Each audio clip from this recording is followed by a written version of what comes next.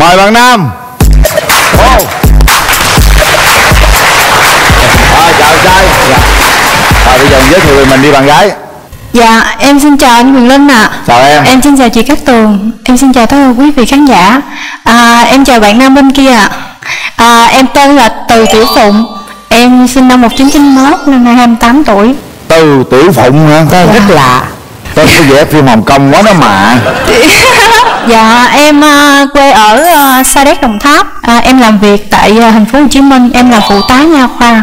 Rồi, mời bạn trai giới thiệu. Dạ, em xin tự giới thiệu em là Lê Thanh Phong. À, em sinh năm 1990, hiện đang là nhân viên của nhà hàng Nhật Maruya ở quận Nhất. Từ nhỏ giờ em cũng sống ở đây thôi.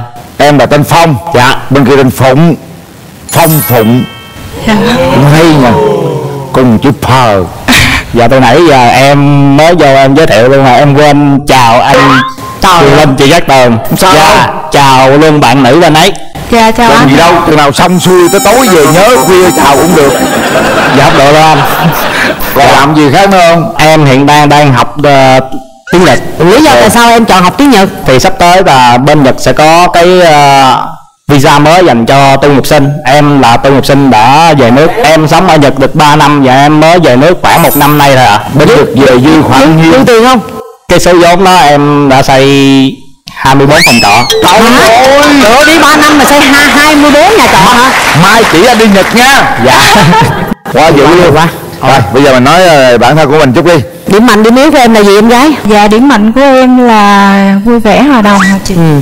À, điểm yếu của em thì rất là dễ hồi hộp, rất dễ đỏ mặt. Bạn trai, điểm mạnh điểm yếu của em là gì? điểm mạnh của em là có khiếu hài hước ờ, đôi khi nó chọc người khác cười còn cái điểm yếu của em thì ờ, chắc cũng đôi khi cũng hay buồn thôi Nhớ ví dụ hai mốt phòng trọ làm vui à. Có khách muốn ở hết chưa em? Dạ đủ hết rồi ạ. Còn ngon, phòng trọ ngon. thì cái số phòng trọ đó em đang để cho mẹ quản lý để lo cho em của em đi du học. Ừ. Ồ, hay quá. đó. có sự nghiệp có tương lai phải ổn rồi đó. Bây giờ nói về cái tình trường một chút xíu đi. Ừ, tình trường mình trải qua bao nhiêu mối tình rồi? Trước Tết á, là người nhà em có giới thiệu cho em làm quen với một anh Nhưng mà chỉ nhắn tin làm quen vậy thôi. Có gặp mặt chưa? Và gặp mặt cũng đi chơi một là hai lần vậy thôi chứ chưa có tình cảm. Ừ. rồi trước đó là chưa có mối tình nào luôn À, hồi xưa giờ. chưa, dạ chưa. Chắc tại vì em khép kín á chị Tính lại là không có mở lòng nhiều. Mẹ em thì thích người à, hợp tuổi. Em muốn tìm bạn trai tuổi như thế nào? Sinh năm 90 á. em em trai sinh năm bao nhiêu cơ? Dạ em cuối năm 90 chị. Cuối năm 90 là sao? Dạ năm 90 đó chị. Ừ, được rồi. Năm 90 thì còn cuối năm 90 nữa thì ông này mời bạn trai tình trường như thế nào dạ thì em đã trải qua ba mối tình. Đó, ba mối ba ba mối anh. Mối dài nhất là dạ cái mối dài nhất là khoảng 3 năm khi mà học tiếng đến khi mà đi nước ngoài xong về mới chia tay.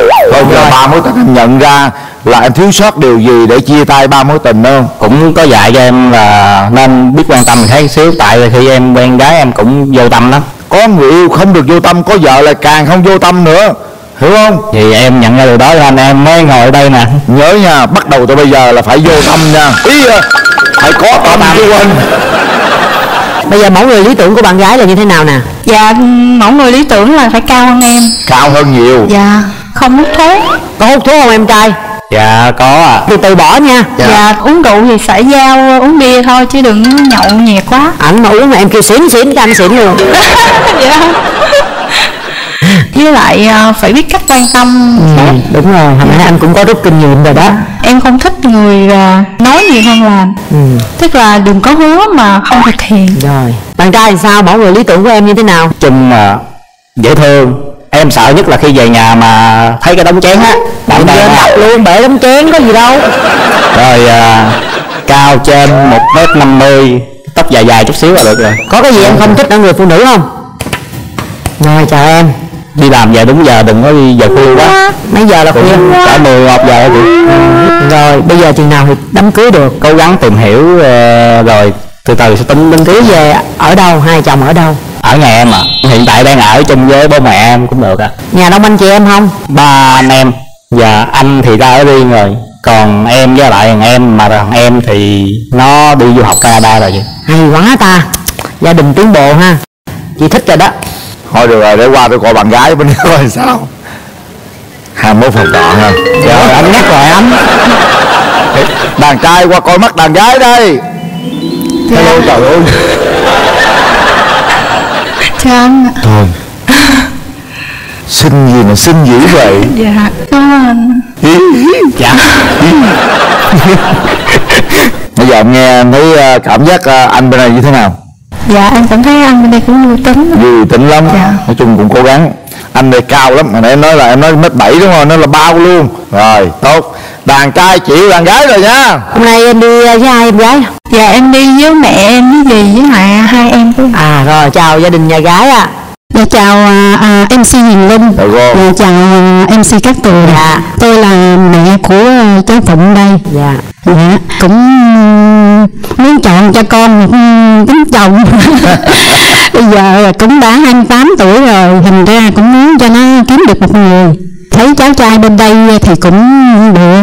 Phụng ở nhà thì nó cũng tánh cũng hiền lắm Từ nhỏ tới lớn là chỉ đi học thôi. Giờ muốn nhờ chương trình à, kiếm giùm cho cháu cho Phụng được một người bạn. Dạ, cảm ơn rồi hôm nay em trai đi với ai?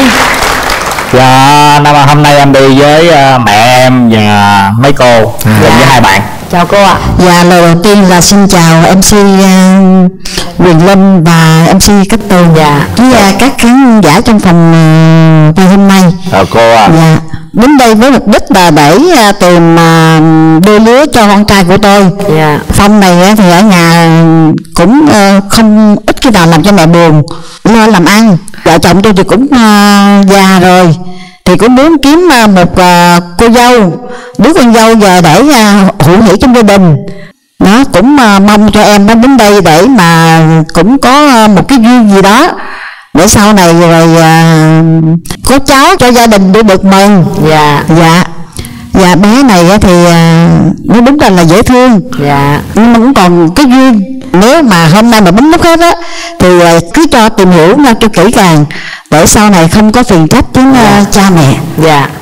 Dạ. rồi cảm ơn cô ạ. Rồi ha gia đình hai bên rồi. Bây giờ cái chính là giống như bác gái nói là hai bạn phải tìm hiểu nhau cho kỹ. Dạ. Nha rồi mở rào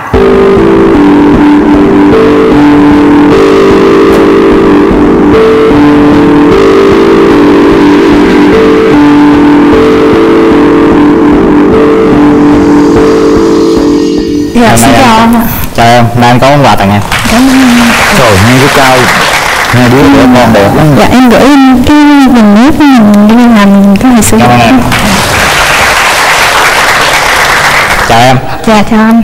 Thì anh nhìn thấy em muốn khóc luôn nè Dạ biết nói chuyện ghê em em thích à, thường thường là em thích làm những gì những ngày nghỉ? Em hay với đứa em em hay đi chơi với nhau không? Em có thích đi du lịch không? Ừ, Dạ cũng thích à, em biết nấu ăn không? À, Dạ không. Em nghĩ xong nếu mốt em rửa chén không Chắc được. Anh thì anh biết nấu ăn nhưng mà anh không biết rửa chén anh là biến khổ Vậy là anh nấu ăn đúng không? À, thì hôm nào rảnh thì anh muốn mời em đến nhà hàng của anh ăn một bữa ở nhà hàng của anh luôn hả? Đó dạ không nhà hàng chỗ anh làm. Trời. Thì mắc lỗi thì ghê không vô chuyện yêu đương đi hẹn hò yêu đương nè hôn nhân nè. Anh có thể tìm hiểu em được không? Ừ, Một lát rồi em sẽ trả lời. Giờ anh thấy em cũng dễ thương á. Dạ cảm ơn anh sao ta? Nói chung là anh nhìn thấy em là anh cũng ngại ngại. Ngại gì có gì đâu ngại. Lâu lâu mới được gặp gái á, chị các bạn. Gì gặp gái gặp bạn gái. Gì là bạn gái dạ tương lai à, em có thể về nhà anh sống không? Nếu mà lấy chồng thì phải theo chồng thôi đương nhiên rồi. Còn em không biết em có thể làm dâu tốt được hay không Thì lúc đó thì mình Dạ. sẽ từ từ. Giờ em thích trai hay gái hỏi coi. Em tính xin mấy đứa? Ví dụ như vậy. Cái việc đó gia đình là hai chỉ hai là đủ không à, một chồng hai con vợ chồng hạnh phúc. À, một một chồng hai hai, con con vợ. chồng hai hai con vợ chồng hạnh phúc. Anh nhắc anh nhắc lộn chỗ. Đừng nói lộn nhau. Anh nhắc lộn chỗ. hiểm à nha. Anh nhắc lộn chỗ. Trời đất ơi. Thì bây giờ anh mong được có câu trả lời của em. Giờ muốn phải thuyết phục người ta giờ hát tặng người ta một bài hát hay là tỏ tình người ta hay gì đó làm gì đi chứ bây giờ anh hát tặng một câu được không? Dạ. Gì ta? Làm gì mà quý tay quý chân dạ móc em quý móc. Em đủ hết là nhiều từ gì buồn rút hết? Dạ không có ý em nói mồ hôi. Gãi tùm lum hết rồi. Thôi hát đi kìa. À.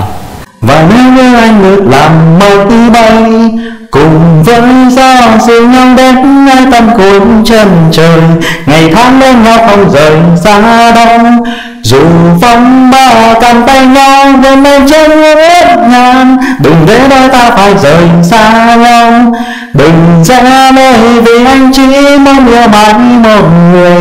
Hãy để cho anh được gần bên em, và cùng xanh mưa tình yêu ta sẽ không xa tới rơi.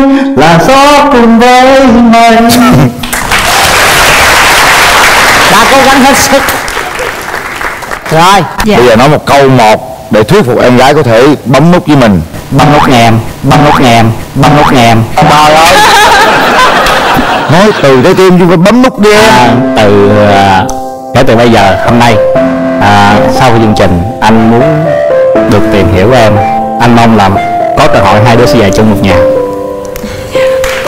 Rồi rồi đặt tay vào nút bấm này trời ơi bản lĩnh quá chứ giờ mình có thể nói vui mình có thể đùa một chút xíu. Dạ. nhưng đã đến lúc chúng ta nhắm mắt lại kiểm tra con tim mình có rung động với người đối diện hay không. Rồi hãy đưa ra quyết định của mình sau 3 tiếng đếm. Một hai ba. Hết thời gian.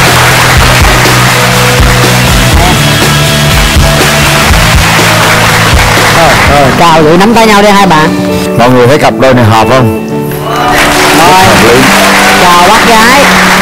Rồi xin phép không? à, xin bác gái cho cho con được phép hẹn hò với tên gì? em tên gì? Tên gì? Quên rồi. Từ anh từ anh. Ba hai tên bấm. Tên bấm hả? Dạ anh nghe nghe anh nghe em đếm. Trời đất ơi à phụng của hai chữ b ăn phở. Trời ơi. Dễ nhớ. Rồi xin phép hung kìa. Dạ con có thể uh, hôn bé phụng một cái được không ạ? Anh có thể hôn em một cái được không? Dạ dạ